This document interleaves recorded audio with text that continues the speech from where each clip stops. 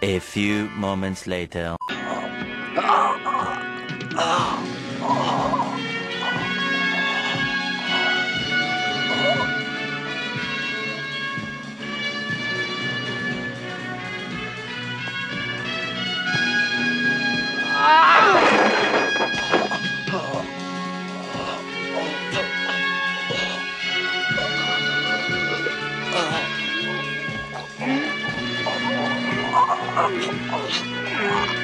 Uh-uh.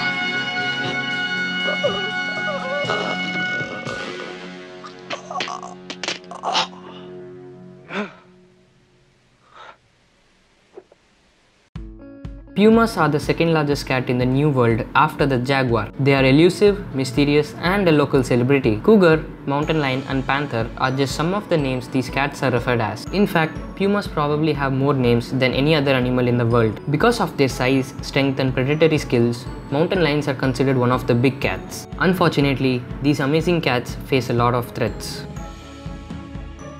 Pumas are incredibly adaptable species. They can live in any place as long as adequate resources are available. In some geographic locations, they are the apex predators. But in other ranges, they are preyed upon by jaguars, bears, packs of grey wolves, and alligators. Habitat loss, urbanization, and other human activities Pumas are the second largest cat in the New World after the jaguar.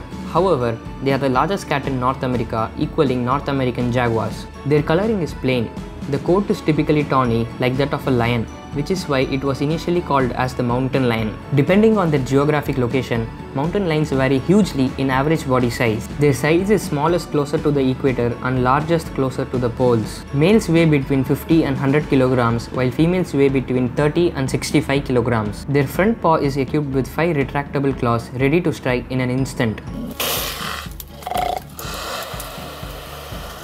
Their powerful hind legs enables them to jump as far as 40 to 45 feet. They can even jump pretty high, measuring up to 5.5 meters. On average, they are the largest cats after tigers, lions and jaguars. Mountain lions do not roar. Instead, they have many different ways of communicating. Whistles, growls, purrs and chirps are some of the sounds a puma can make.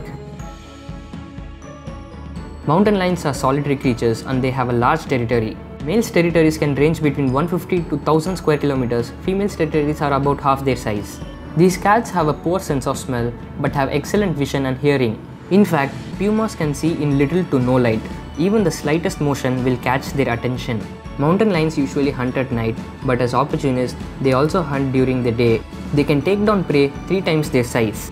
They can kill their prey with a single bite to the back of the neck. Pumas will primarily feed on deers, although females will prey upon smaller prey anything from coyotes to rats.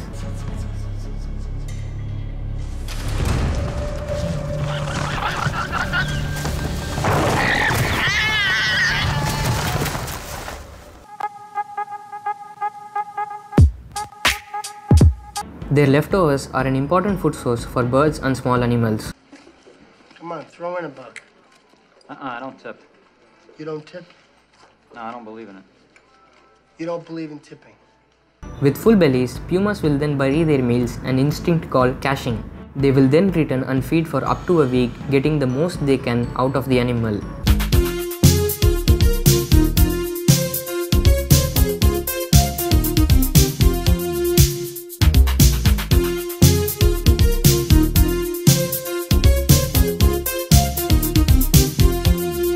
Mountain lion attacks on humans are extremely rare.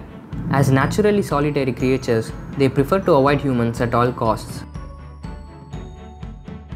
When the female is ready to mate, she has her own special siren song to lure in potential suitors. The vocalization is equivalent to a woman screaming.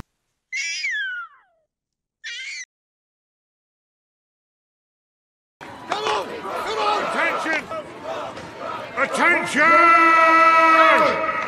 During the breeding process, they stay together for up to a week and breed multiple times during that period. Females have a pregnancy period of about 90 days and on average 2 to 4 kittens are born. When the kittens are born, mom will nurse them for about 12 weeks, but to keep her energy high, she occasionally has to leave them and search for food. After that, the mother will bring small prey to her young or will leave them at a kill site. She will repeat this process till her babies are old enough to accompany her on a hunt. They will learn all their survival skills from mum and pass those skills to kittens of their own. Father rarely plays a part in the kitten's upbringing. Females avoid males except during mating. Intraspecific conflict is a big deal in lions. Male lions will kill other male lions and they will even kill a female lion. So female almost always avoids the male lion except when she wants to mate. On an average, fewer than half of the kittens survive through adulthood. Kittens are vulnerable to threats from other predators like coyotes, bears, and even adult male of their own kind. Environment threats include hyperthermia from snowstorms and wildfires. After one and a half to two years, the mum will leave the kittens to mate again, and this is when the kittens set out to establish territories of their own. They have a lifespan of about 8 to 13 years.